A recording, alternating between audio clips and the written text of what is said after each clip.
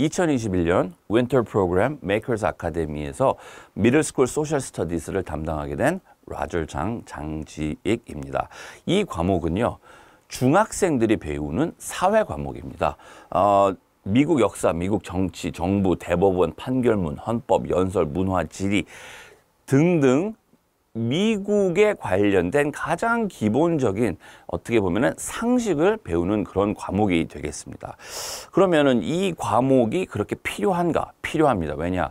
중학교에서 3년 동안 social studies는 매년 배워요.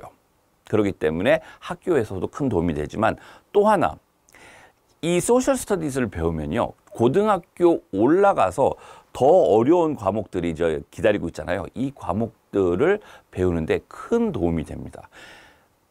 이렇게 생각을 하시면 좋을 것 같아요. 미국에서 태어나서 자라는 학생들은 뭐 어떤 지역에 관련해서 이야기할 때 그 지역이 어디 있는지 알아요. 그 특징도 알아요.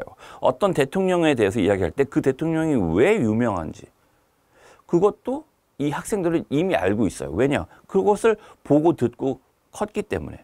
하지만 한국에서 태어났거나 한국에서 공부를 하거나 또는 여기에서 이제 또 유학을 갈 학생들 이런 이런 학생들은 미국에 대해서 지리나 역사나 문화나 정치에 대해서 그렇게 어, 좀 잘 알고 있지 않잖아요. 그러면은 학교에 가서 선생님이 무슨 이야기 할 때, 어떤 글을 써야 될 때, 학생들하고 토론을 할 때, 밀릴 수밖에 없습니다. 점수가 좀 안 나올 수도 있고, 어, 공부할 때 좀 힘들 수가 있어요. 그렇기 때문에 이런 기본 상식은 꼭 알고 가야겠죠.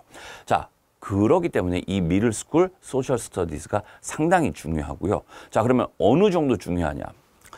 제가 이것을 그 지금 캡처한 거예요. 어디에서 캡처한 거냐? 칼리지 볼드의 SAT 설명에 관련된 그 웹페이지에서 가져온 거예요. The redesigned SAT's reading test 이렇게 나오잖아요. 이 SAT에 뭐라고 쓰여 있냐면은 하나 읽는 그 지문, 지문이 US founding document 또는 speech를 물어볼 것이다. 미국 역사상 중요한 그런 document나 어떤 연설 이런 것을 가지고 SAT reading 테스트 할 거다 이렇게 발표를 한 거예요. 그리고 그렇게 지금 꾸준히 매 SAT 테스트마다 미국 역사적인 어떤 그런 document가 나오고 있고요. 자, 그러기 때문에 이 social studies는 기본적인 어떤 그런 공부를 하는 데 있어서 꼭 필요하다 이렇게 설명을 드리고요. 자, 이거는 2015년도 AP English Language 시험, 에세이 시험을 제가 캡처해 가지고 온 거예요. 닥터 마틴 루터 킹, 세자르 차베스 이런 사람들이 나옵니다. 다른 시험 보면요.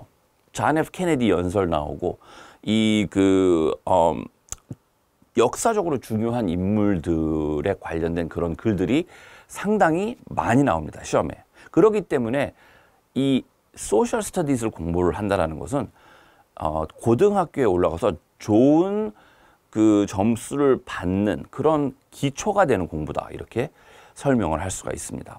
아, 이 과목은 6학년에서부터 8학년까지 중학생들을 위한 과목이고요. 그 다음에 어, 좀 재미없을 수 있는 이 사회 과목을 제가 어, 그래도 좀 재미있는 어떤 그런 요소들을 어, 조금 더 어, 그 여러분들에게 설명을 해드리면서 어, 이 겨울 방학 동안 그래도 뭔가를 이렇게 좀 챙겨갈 수 있는 어, 앞으로 기다리고 있는 어려운 과목 들의 기본을 다질 수 있는 이제 그런 식으로 어, 여러분들을 이제 좀 이렇게 이 social studies 이 세계로 좀 어, 여러분들하고 같이 공부를 해봤으면 합니다. 그래서 어, 이번 겨울에 메이커즈 아카데미에서 여러분들하고 같이 어, 시간을 보내면서 어, 이 사회 공부 어, 같이 해봤으면 하는 마음에 동영상을 준비를 해봤습니다. 감사합니다.